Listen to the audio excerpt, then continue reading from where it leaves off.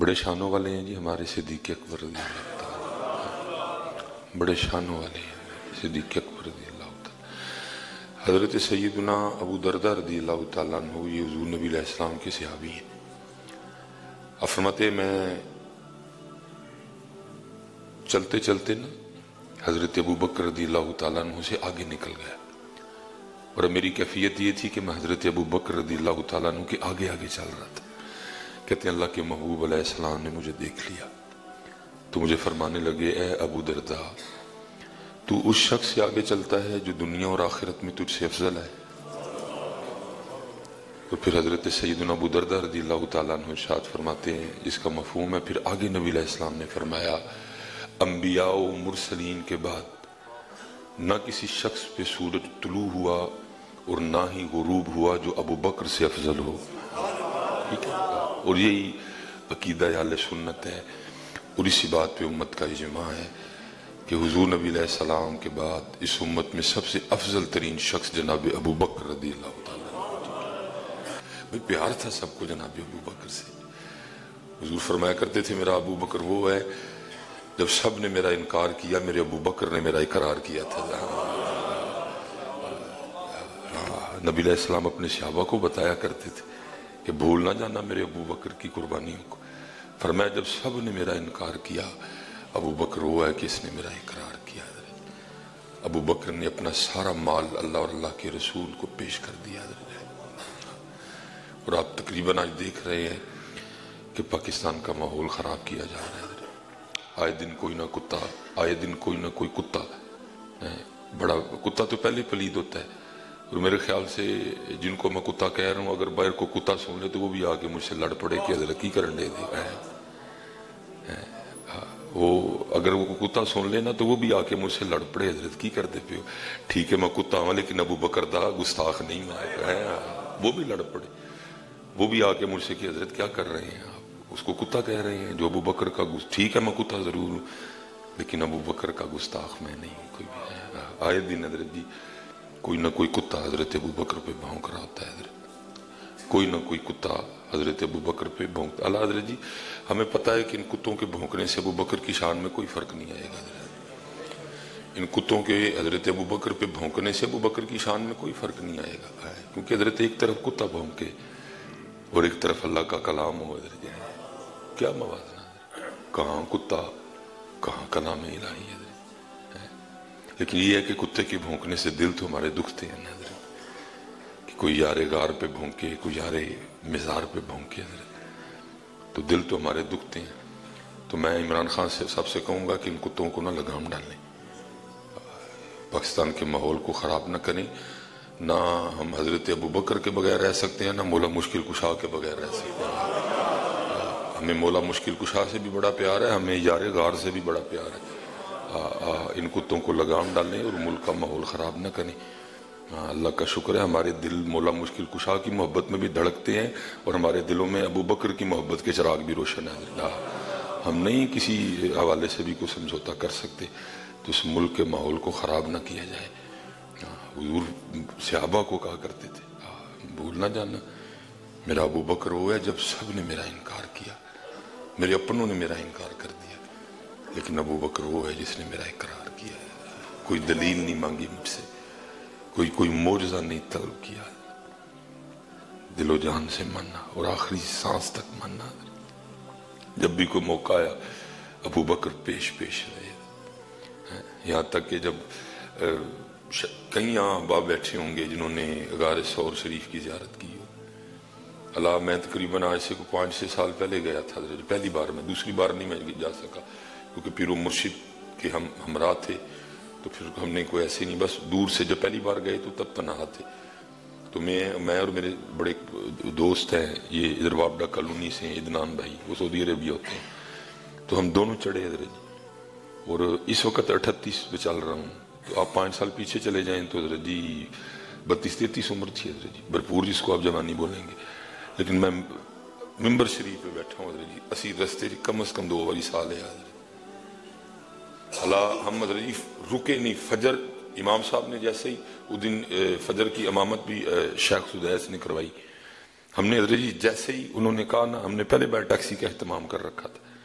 क्योंकि पहले इरादा था कि जो उधर बिल्कुल गारे सौर शरीफ के बाहर मस्जिद है उधर पढ़ लेंगे फजर। फिर हमने कहा, नहीं भाई, लख नमाजा का सवाब है हरम शरीफ से पढ़ो थे मैंने कहा, नहीं, इधर पढ़ के निकलेंगे। वो बाहर टैक्सी वाला खड़ा था, हम बिल्कुल हज़रत अभी सूरज निकल रहा था जब हम पहुँच गए। लेकिन फिर भी हज़रत, हमने रास्ते में दो बार सांस तकरीबन लिया हज़रत अब रास्ते में ना छोटी छोटी दुकानें भी बन गई हैं। वहाँ हमने बैठ के एक तो जो है ना वो तो फिर मुझे हज़रत अबू बकर याद आए। मैंने कहा, मौली सुलेमान, तू कल आई है तो दो बारी बह गए हैं। कुरबान जाऊँ अबू बकर के, जिसके कंधों पे खुदा के महबूब सवार थे। मुझे मुझे बड़ी शिद्दत से जनाब अबू बकर रदी अल्लाह तला याद है। मैंने कहा मौली सुलेमान कल आए बत्ती साल उम्र है। लेकिन तू बह गए हैं रस्ते में, कुर्बान जाऊँ हज़रत अबू बकर पे, जिनके कंधों पे उस वक्त अल्लाह के महबूब तशरीफ़ फरमाते। और जनाब अबू बकर ने वो सारा फासला तय किया, है। वो लिखा है, कभी आगे चलते, कभी पीछे चलते। इस्लाम फरमाने लगे, पता तो सारा कुछ ही था, हमारे लिए पूछा गया। अबू बकर, कभी आगे चलते हो, कभी पीछे चलते ये क्या? अर्ज़ की, महबूब, जब दिल में ख्याल आता है ना कहीं दुश्मन आगे से हमला न कर दे। इसलिए आगे चलता हूँ, अगर कोई तीर आए तो पहले अबू बकर के सीने पे लगे है जब ख्याल आता है, दुश्मन कहीं पीछे से हमला न करे तो पीछे आ जाता हूँ। अगर कोई तलवार चले तो पहले अबू बकर पे चले।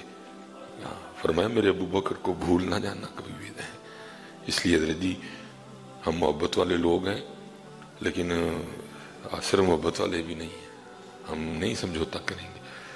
इसलिए हम वजी अजम ऑफ़ पाकिस्तान इमरान खान साहब कहते हैं कि इन कुत्तों को लगाम डालें। इन कुत्तों को पट्टा डालें हज़रत जी। हमें हमें इश्क है जनाब अबू बकर से हमें इश्क है जनाब मौला मुश्किल कुशा से हम नहीं बर्दाश्त करेंगे कोई भी बात हज़रत मुल्क के माहौल को ख़राब ना किया जाए। मुल्क के माहौल को ख़राब, ये फिर कराची में जो है ना, फिर मैं कह रहा हूँ कि कुत्ता सुन नहीं रहा पाक पै जाए मैं कुत्ते को पता चल जाए ना कि मैंने अबू बकर के पे भौंकने वाले को कुत्ता कहा है तो वो लड़ पड़े आके मुझसे मौली साहब की करने दे मैं कुत्ता ज़रूर हाँ लेकिन अबू बकर दा गुस्ताख नहीं मैं कोई है। सुन कोई नहीं रहा जरा जी कुत्ता। हाँ, ये इन, इन, इनको लगाम डाले इन खंजीरों को। क्योंकि कुरान जब तक कुरान रहेगा हज़रत शान सिद्दीक अकबर बयान होती रहेगी। सानी इसनैन इज़ हुमा फिल गार। इज़ यकूल साहिबी ला तहजन इन अल्लाह माना जनाब अबू बकर रज़ी अल्लाह ठीक है तो वो हज़रत सैदुना जैद बिन अरकम रज़ी अल्लाह ताला फरमाते हैं कि मैं हज़रत जनाब सैदुना अबू बकर सिद्दीक रज़ी अल्लाह तु की खिदमत में हाजिर था तो आपको प्यास लग गई आपने पानी मांगा तो कहते आपकी बारगाह में एक ऐसा बर्तन पेश किया गया कि जिसमें सिर्फ़ पानी नहीं था बल्कि उसमें शहद भी मिला था। मोहब्बत थी जी सबको हज़रत अबू बकर से। उम्मत के पहले ही इमाम है जी।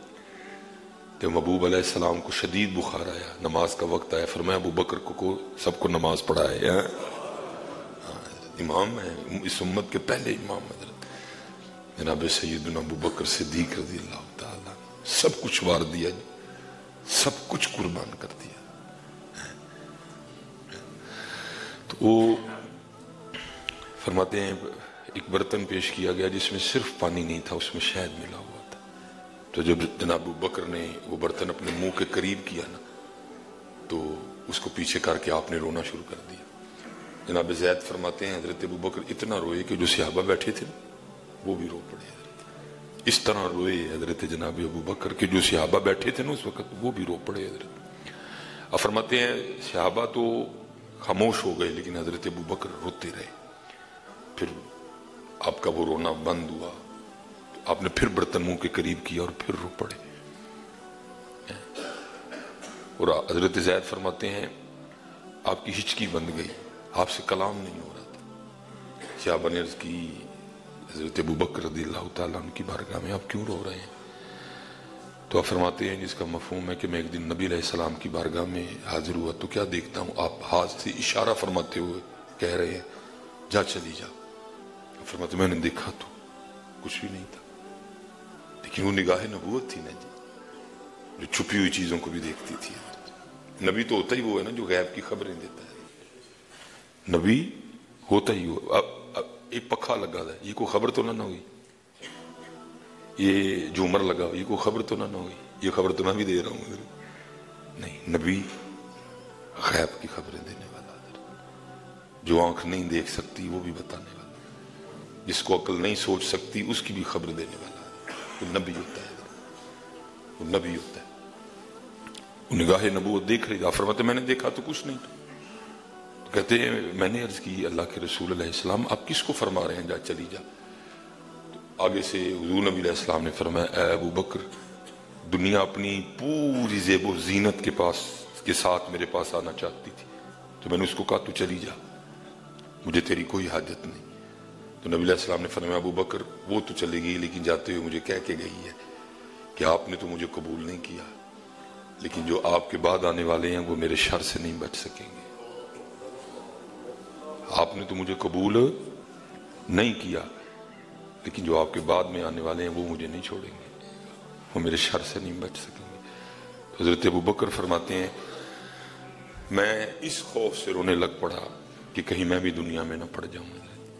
वो अबू बकर रदी अल्लाह का तकवा था। आपने वो पानी जिसमें शहद मिला, आपने उसको भी दुनिया जाना। ये तकवा था जनाब अबू बकर रदी और पुत्र साडा हाल तो है, साढ़े अच साढ़े तीन तीन लाख रुपए का मोबाइल है। अबू बकर तो उस प्याले को देख के भी रो पड़े, जिस पानी में शहद मिला हुआ था। हमारे हाथों में तो पुत्र तीन तीन लाख का फ़ोन है। बस अल्लाह ये मैं माफ़ कर दे। अल्लाह ये मैं माफ़ कर दे। जी, कुछ नहीं था, लेकिन उन्होंने बंदगी की। ठीक है जी, अगर हलाल के पैसे हैं तो ठीक है, रखें आप। लेकिन बंदगी भी तो करें ना। वह कुछ भी नहीं था, लेकिन बंदगी थी। यहाँ सब कुछ है, लेकिन बंदगी नहीं है। गड्डी बहुत महँगी है, मोबाइल बहुत महँगा कड़ी बहुत महँगी है, कार बड़ा महँगा है। खाने बड़े पुरतकल्लुफ ने लग्जरी खाने ने बंदगी नफल दूर, तिलावत दूर तहजुद दूर। साढ़े को पाँच नमाजा भी पूरी वहाँ के आलम है। महबू फरमाते हैं अम्बिया मुरसलीन के बाद ना किसी शख्स पे सूरज तुलू हुआ, ना किसी पे गुरूब हुआ जो मेरे अबू बकर से अफसल हो लेकिन हज़रत अबू बकर की कैफियत ये है, एक प्याला पेश किया गया जिस जिस पानी में शहद मिला था। अब उसे भी देख के रो रहे हैं कि कहीं मैं दुनिया में न पड़ जाऊँगा और इधर नहीं है बंदगी करो। बंदगी करो। और याद रखिए हज़रत जी, ये तीन तीन लाख वाले मोबाइल का जवाब देना चाहिए। है ना समझियो कि सू पूछना किसी ने नहीं जवाब देना है राडो का जवाब देना भी है जी। उन्हें लेना जी जवाब। अगर तीन लाख का फ़ोन है तो जवाब की भी तैयारी करो। इसके जवाब की भी तैयारी करो। मैं एक दिन हम लाहौर थे जामिया में। तो किबला मुफ्ती साहब पढ़ा रहे थे तो कोई हिसाब के हवाले से ना हदीस मुबारक आ गई। तो आपके किसी शागिर्द ने ना बड़ी को कीमती घड़ी भेजी थी, आपने कलाई बाँध रो पड़े इधर अपनी घड़ी देख के ना रो पड़े। और फरमाने लगे, जे कल उन्हें इस घड़ी पूछ लिया, मेरे को ज़्यादा भी जवाब कोई नहीं है वो कह रहे कुरान में सुमन क्योंकि हमने हज़रत आपका जीन बना दिया, हमने बनाया। कि साल च वड्डी जी महफिल मिराद कराओ तो अल्लाह अल्लाह खैर सला बिल्कुल छुट्टी है उसके बाद। और हर साल इसको जरा तबातुर से करवाते रहना। को महँगे महँगे से नात खां बुलवाना, बड़ा पुरतकल्लू सा खाना बनाना, अपने घर को भी सजाना, सजूना। ठीक है जी? तो बाकी अल्लाह अल्लाह खैर सला है, बाकी कोई टेंशन नहीं। हज़रत जनाब अबू बकर माल कुर्बान कर दिया।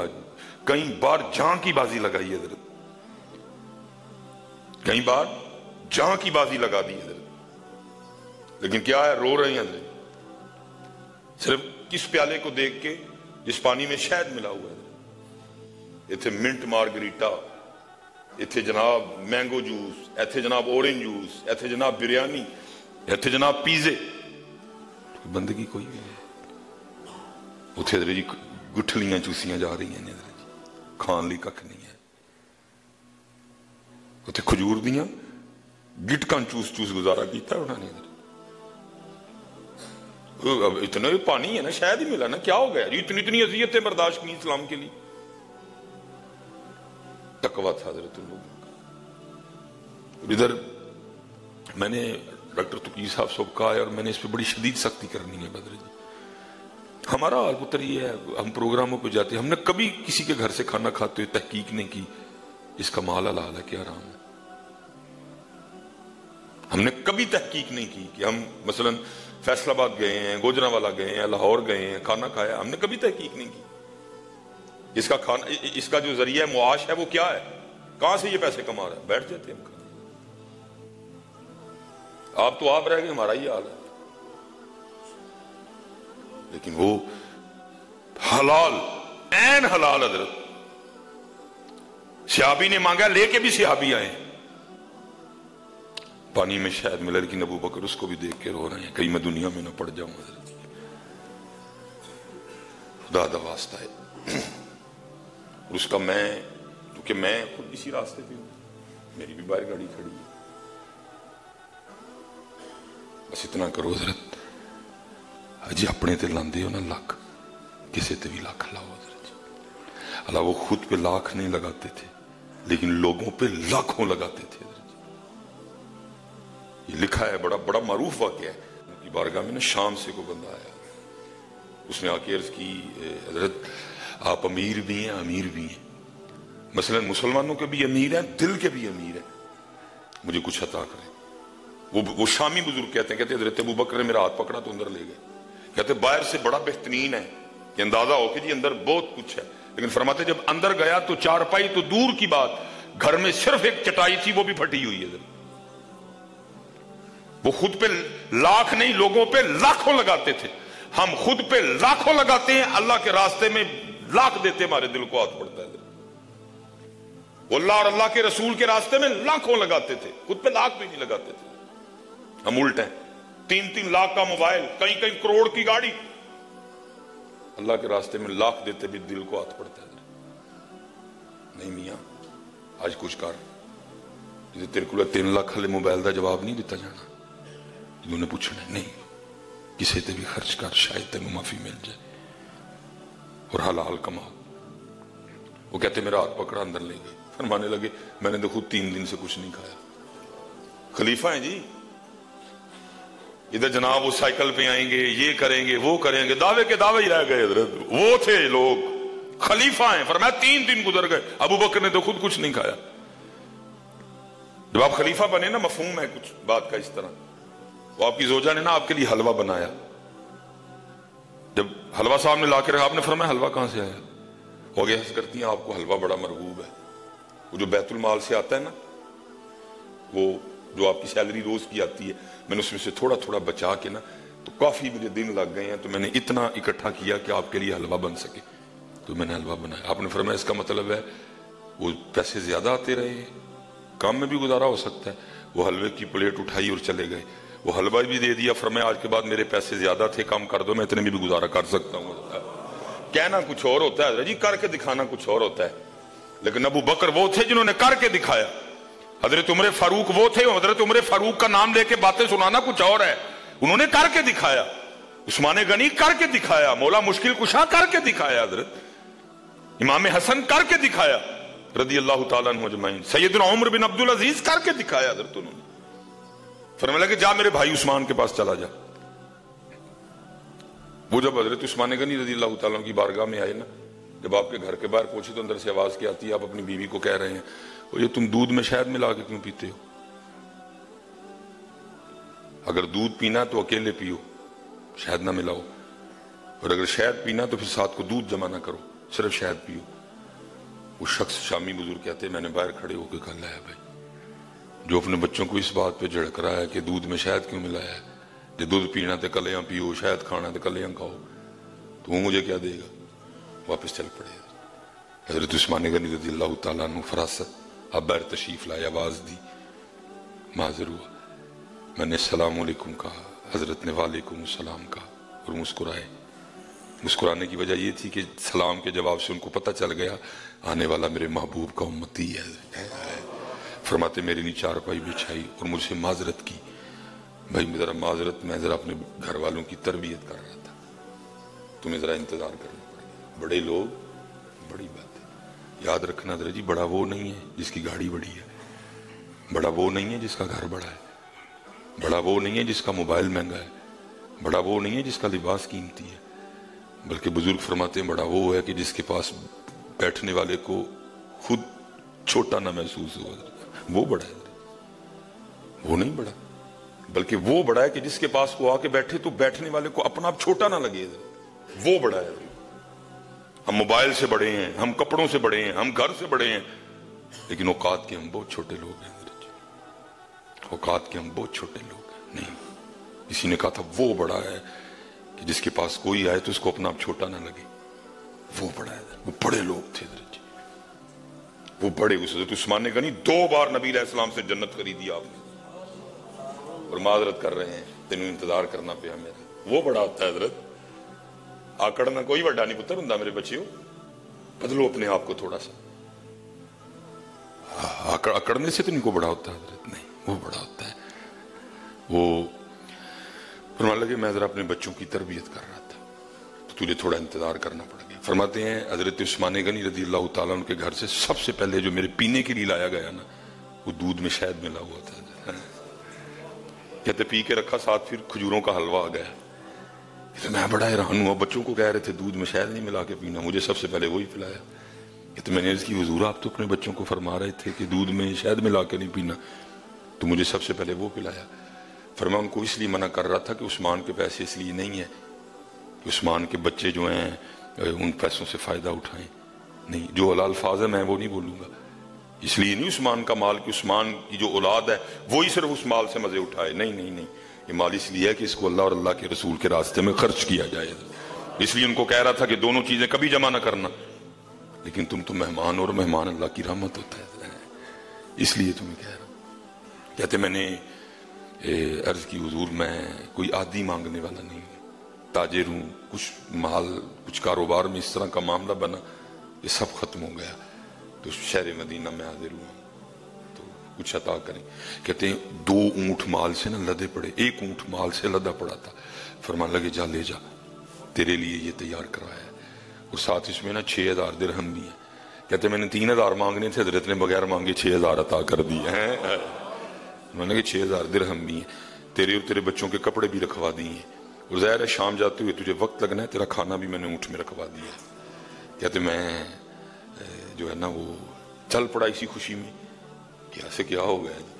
कहते आगे जाके ख्याल आया हो ऊँट के बारे में तो तूने पूछा ही नहीं, क्योंकि माल तेरा है, कपड़े तेरे हैं, दिरहम तेरे हैं। ऊँट के बारे में तो हज़रत ने कुछ भी नहीं कहा, चल ऊँट के बारे में पूछा। वो आके करते हैं, हजूर, ऊँट वापस करना आना है। तो मुस्कुरा के फरमाने लगे, ऊँट भी तेरा ही, है? ऊँट भी तेरा ही है। कहते मैंने अर्ज़ की हजूर शुक्रिया तो आगे से मुस्कुरा के कहने लगे शुक्रिया मेरा ना अदा कर अगर शुक्रिया अदा करना तो जाते हुए अबू बकर का करके जाना है असी अपने ते लखा असी अपने ते लखा अल्लाह और अल्लाह के रसूल के रस्ते